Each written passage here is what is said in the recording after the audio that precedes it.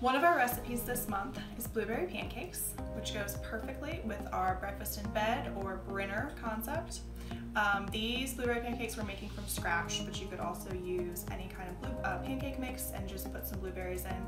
We're going to be using fresh blueberries, uh, but you can always use frozen if you want to make it a little bit easier. So to start off, we're just going to do the pancake batter. Um, first off, we're going to take one egg and crack it into our bowl. And we're gonna add in half a cup of milk.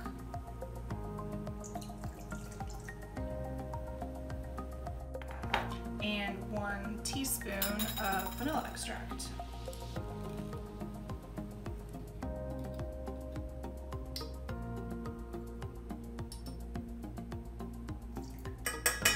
And we're gonna beat all this together until it's nice and foamy.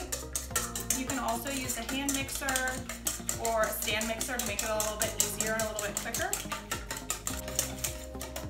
So once it's nice and foamy, you can see that the egg is combined. We've mixed it all together with that milk and the vanilla extract.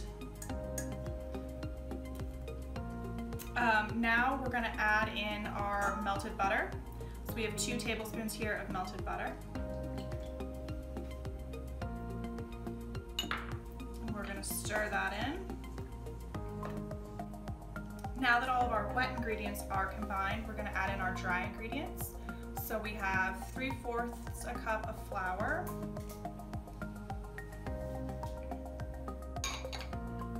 and then we're gonna use half a teaspoon of salt. So I'm just gonna eyeball this because we're using a grinder. And we're gonna use a teaspoon of baking powder.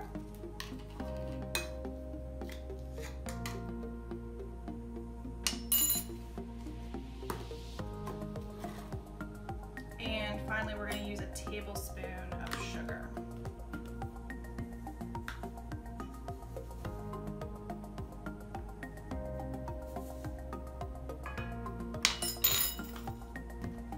And we're going to stir it all up. And once your batter is nice and combined, we're just going to let it sit uh, for two to three minutes while we're getting the griddle or the frying pan ready uh, to cook the pancakes.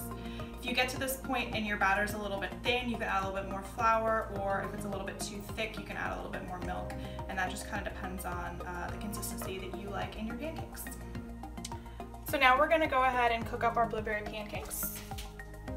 We're gonna start off by heating this pan on medium to medium low heat. Just put some butter in so now that the butter has started bubbling and sizzling, we are ready to go.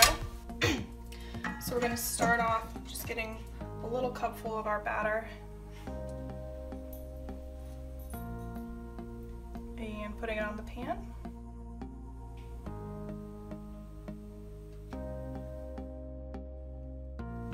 And once we've got our batter down, we're gonna sprinkle some blueberries on top.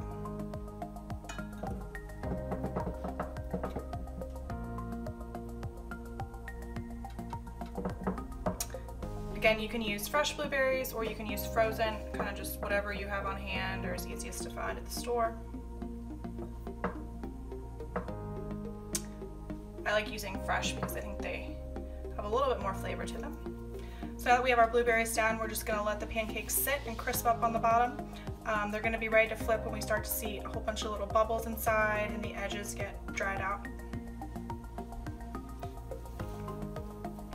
So now that we're starting to see some bubbles in the pancakes and the edges are getting dry, we're gonna go ahead and flip them.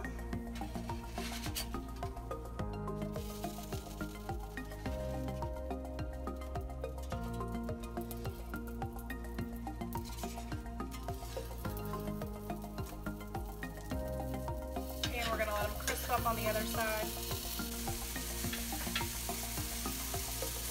Now we're gonna go ahead and take them off the heat.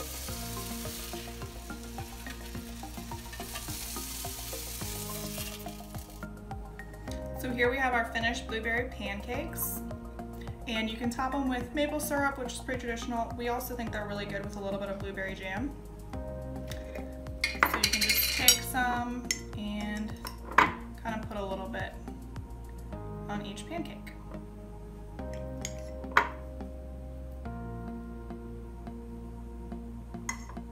And you are good to go. And then here they are, ready to serve.